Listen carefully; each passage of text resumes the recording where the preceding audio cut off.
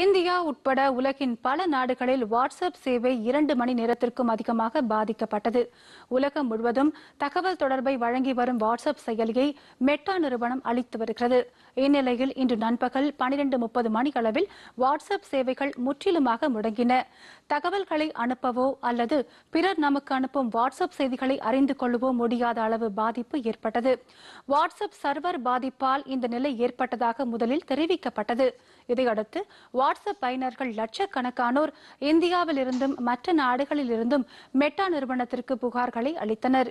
இந்நிலையில் இணைப்பில் பிரச்சனை இருப்பதை ஒப்புக்கொண்ட மெட்டா நிறுவனம் ஓரளவு சேவைகள் தொடங்கியுள்ளதாகவும் எஞ்சிய குறைபாடுகளும் சரி செய்யப்பட்டுவிடும் என்றும் தெரிவிக்கப்பட்டுள்ளது.